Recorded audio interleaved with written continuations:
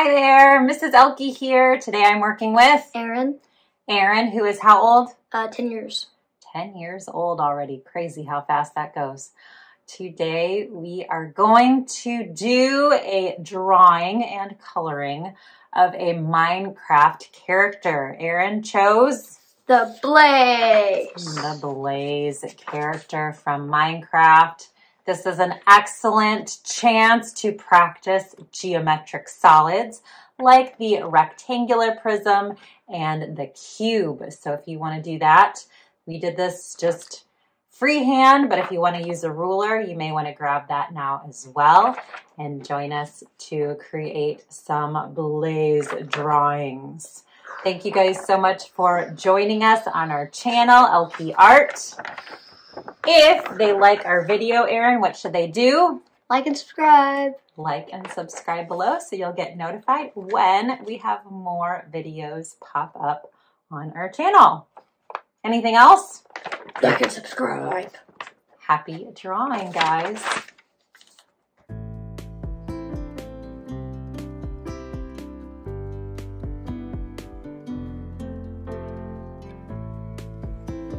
So for our project today, we're working a lot in kind of this like 3D mode.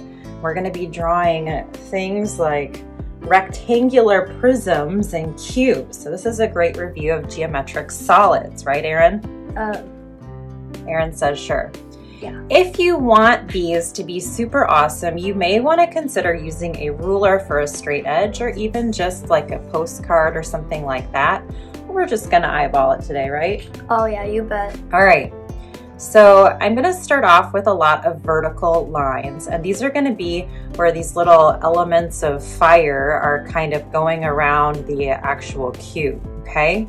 So my first vertical line is gonna start a little bit off-centered and it's gonna be shorter than my finger. Next, I'm gonna do some other ones that vary in height. So some of them will be a little bit higher, some of them will be a little lower. This one up here is gonna be probably the highest. I I want my outside ones to be highest. And then it's gonna get kind of lower as it goes towards the center. So I'll do another one maybe a little farther out. I wanna leave some space for the cube to show through. So I'll do one here. And again, if you guys want the straight lines, feel free to use a ruler or a straight edge on your lines. So I've got five so far. Uh, I'm gonna stop right there before I do more because I wanna make these turn into cubes. So the easiest way for these to turn into rectangular prisms, not cubes, is to turn them into arrows on the bottom. And you want the arrows to not be super pointed, um, kind of a little bit more flat. So I'm gonna go kind of like this to make my arrows. It's a flat arrow, not a super pointed arrow. And I'm gonna do that for all of these. Just make these flat arrows at slight angles here on the bottom. I have to draw a bow. No, I'm just joking. Now, we are not drawing a bow to make bow and arrows, no. We are going to turn these into rectangular prisms. Now, I'm also going to do the same type of lines on the top, but watch how I do it a little bit different. This time, I'm gonna do my arrow going down, just like I did on the bottom. And they should match with the bottom arrows. So again, trying to make them a little bit flatter, like so, all the way across my vertical lines here so that all of the pointers are pointing down. Now we connect them with more straight lines and be real careful to try to make nice vertical lines. Again, if you want to use a ruler, this would be the time to do it. You can also use a pencil if you're worried about needing to erase. Aaron and I like using markers so that you guys can see our marks a little bit better.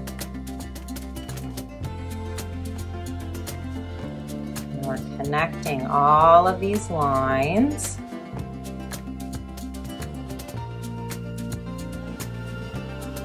To make rectangular prisms like that. All right, now to finish off these rectangular prisms, we still need to make the top sections. And so we actually are just gonna do the opposite way of the arrow by just going up and then down so that it looks like a square on the top. Like so, or I guess a diamond if you're really uh. getting fancy here. And now you've made some very basic rectangular prisms. All right, now before I do, there are some more that are gonna be coming down here, but they are overlapping the cube. So I wanna go ahead and make, make the cube first. Now, because I'm using a marker, I don't wanna see any of the guidelines, so we're just gonna do it similar to how we drew these. Um, I'm gonna start by making the vertical line. It's gonna be kind of a little bit higher than these two, um, or even even with those two. It'll actually be a, a similar length as your other vertical lines that you did. So I'll make it to right about there. But to make it wider, my arrows need to be wider. So I'm gonna make a diagonal that goes all the way over here. It's actually gonna run into this one. And then my other one, it's kind of tricky, has to go behind this line. So I'm gonna have it go like that behind my other guy. Yep, and it's okay if it kind of runs into other ones. I'm gonna do the same thing on the top, try to make these lines parallel to each other and these lines parallel to each other. And then I'm gonna connect the verticals like so. And then I'm gonna make a really flat diamond on the top. So if you want, it may help to kind of take a little dot and put it above your other one. And then that way you can just measure it like that. They're not perfect, but hopefully you get the idea. All right, now we can add a couple more of these guys kind of hanging down below. So I'm gonna do one here and I'm only gonna do one at a time because they might overlap each other.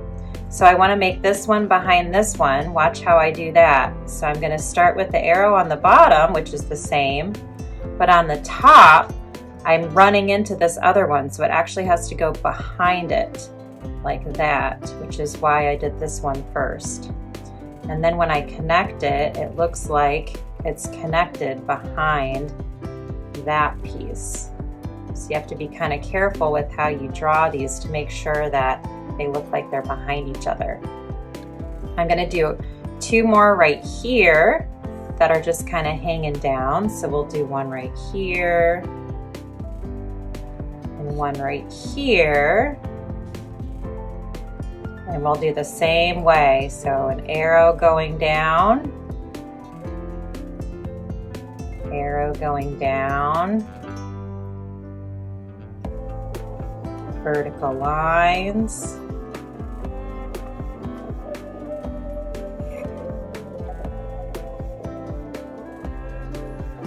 So we're gonna get really good at geometric solids, huh? And then the diamond on the top. Diamond on the top. Yeah, it's a lot of thinking, huh? All right, we still have maybe one or two more. Maybe we'll just do one more down here in the middle. And this one's gonna go behind this one. So I'm gonna start my, my center line hanging down like this. I want this one to be the lowest. I'll add arrow on the bottom again.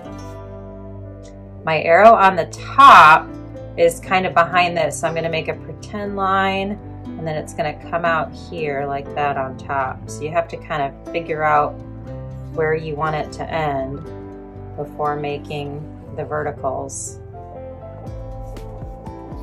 for this blaze guy. And then connecting whatever you can see. So you maybe just connect that little line so it's hiding behind. To make the diamond, just add another diagonal right hmm. there. Yep. Okay, whew, pretty fancy stuff here. Now, The only other thing, I mean, I'm going to be adding kind of the other elements on here with color, but I do want to go ahead and put Blaze's eyes up here. So his eyes are going to be on this side of the cube since it's nice and open here. And they're just going to be these floating rectangles that are kind of hanging out here on the side of the cube. So we'll go ahead and put those in. And if you want to, you can even put the eyeballs and color them in so you can see where he's looking. It's just kind of hanging out, looking ahead. And the rest of the excitement with Blaze we will add with color. Now you could get super fancy and do all of the cubes or all of the squares to really make it look blocky here, or you could just kind of shade it with the color and make it so that it's not all squares. What are you thinking, Aaron? I don't know. You don't know what you want to do? Yeah, blazes have like, the bottom is like, is darker. darker yep. Top is right. So I guess I can show you both Right, ways and you can decide which way you want to do. So if I was going to do all of the little cubes to make it look very Minecrafty, I would take a yellow and I would maybe divide the sections into all of these little squares. And then you could color the squares, you know, lighter on the top, darker on the bottom. That would be a very Minecrafty way to do it. If you don't want to get quite that fancy and do all of the little squares, which is probably what I'm going to do, I'm just going to color light on the tops of these rectangular prisms. And then I'm going to switch to an orange kind of in the middle like that. And then I'm gonna switch to like a reddish brown on the bottom, like that. And that's a little bit easier than making all of the little squares. But maybe you like to get fancy and do all the little squares, that is fine too. So there's one piece. I'm gonna go ahead and do that with all of my pieces. Start with yellow on the top, orange in the middle, and reddish brown along the bottom. And usually with my colored pencils, I like to overlap my colors a little bit so we get some blending. So I took the yellow a little farther down, and then with my orange, I'm starting uh, overlapping the yellow a little bit so that they blend. You can see right here they're blending, and then it gets into a little bit more orange, and I'm taking the orange a little bit farther than I want the orange so that I can blend it with the reddish brown color that those two can blend as well. Okay, so you can try your colored pencil blending if you would like. We're gonna go ahead and work on our coloring. We will come back and show you how it's looking in just a minute.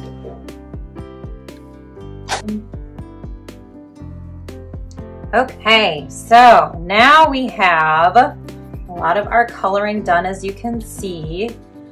Finishing up our last touches of blending yellow, orange, and reddish brown.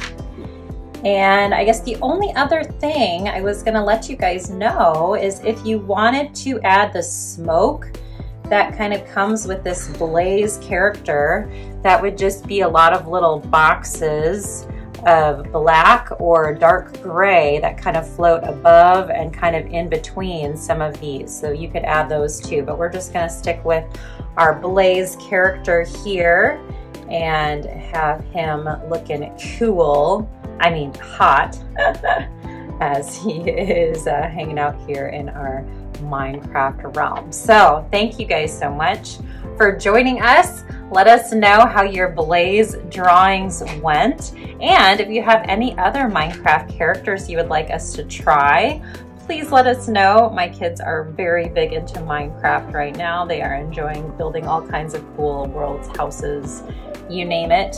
So they're always informing me of all of the characters and the stuff that they come across. Right, Aaron? Yep. Yep. And Aaron, you chose Blaze again. Why?